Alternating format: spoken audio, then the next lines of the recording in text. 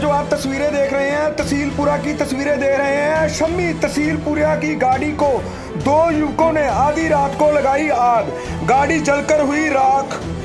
CCTV में कैद हुई वारदात। रुपए के लेन देन का है मामला। पुलिस पहुँची मौके पर।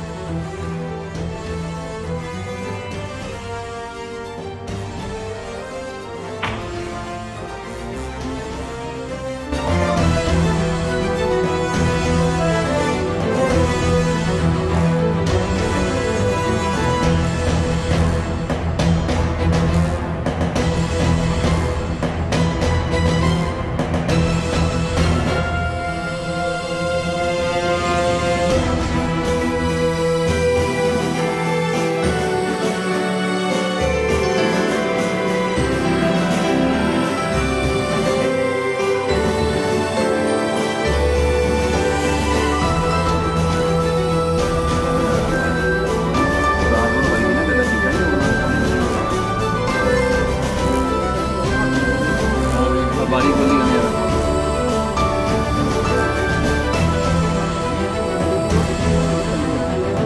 ਸਰ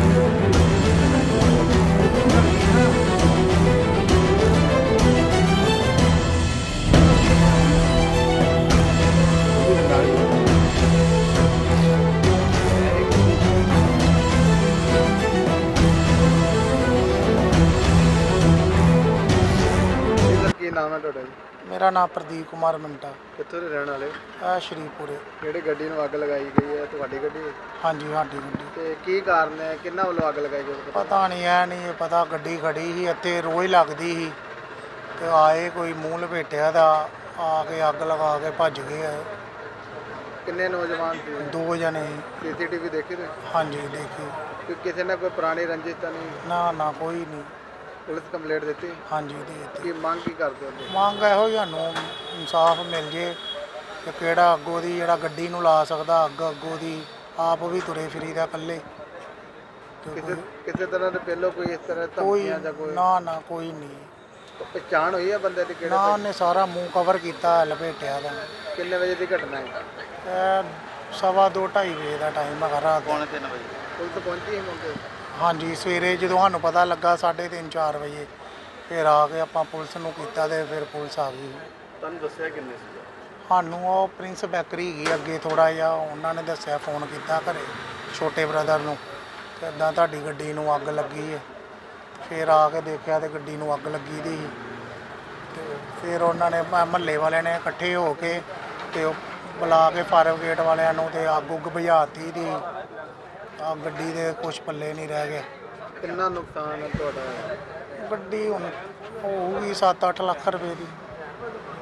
ਹੁਣ ਮੰਗ ਕੀ ਹੈ? ਮੇਨ ਕੀ ਮੰਗ ਹੈ ਤੁਹਾਡੀ? ਮੰਗ ਇਹੋ ਹੀ ਹੈ ਤੇ ਸਾਨੂੰ ਪਤਾ ਲੱਗੇ ਤੇ ਆ ਕੌਣ ਹੈਗੇ ਆ।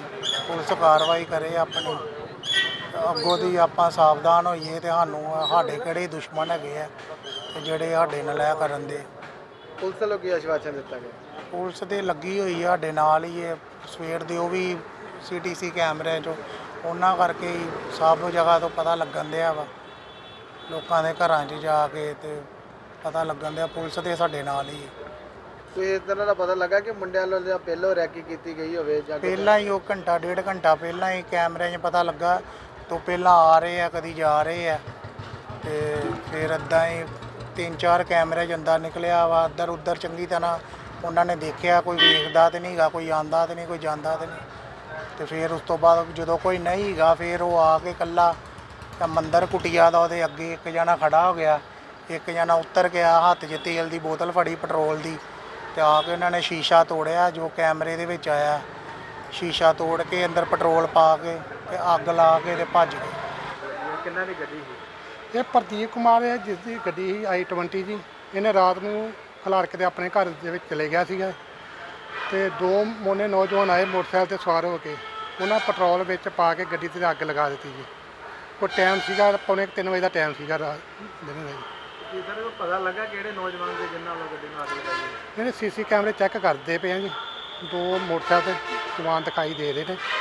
ਬਾਕੀ ਗਾਂ ਜਾਰੀ ਜਿਹੜੀ ਆਪਣੀ ਨੂੰ ਭੇਜੀ ਪਰਿਵਾਰ ਮੈਂਬਰਾਂ ਵੱਲੋਂ ਕਿਸੇ ਦਾ ਨਾਮ ਲਿਖਾਇਆ ਗਿਆ? ਹੈ? ਨਹੀਂ ਜੀ ਇਹਨਾਂ ਵੱ- ਇਹਨਾਂ ਵੱਲੋਂ ਕਿਸੇ ਦਾ ਨਹੀਂ ਨਾਂ ਲਿਖਾਇਆ ਗਿਆ ਜੀ। ਤੇ ਕੀ ਕਾਰਵਾਈ ਕੀਤੀ ਜਾ ਰਹੀ ਹੈ? ਪਰਚਾ ਦਰਜ ਕਰ ਦਿੱਤਾ ਗਿਆ ਜੀ। ਗਾਂ ਸੀਸੀ ਕੈਮਰੇ ਚੈੱਕ ਕਰਦੇ ਪਏ ਆ। ਜੋ ਵੀ ਅਗਲੀ ਫਰਦਰ ਇਨਵੈਸਟੀਗੇਸ਼ਨ ਆਏਗੀ ਆਪ ਨੂੰ ਦੱਸੀ ਜਾਏਗੀ।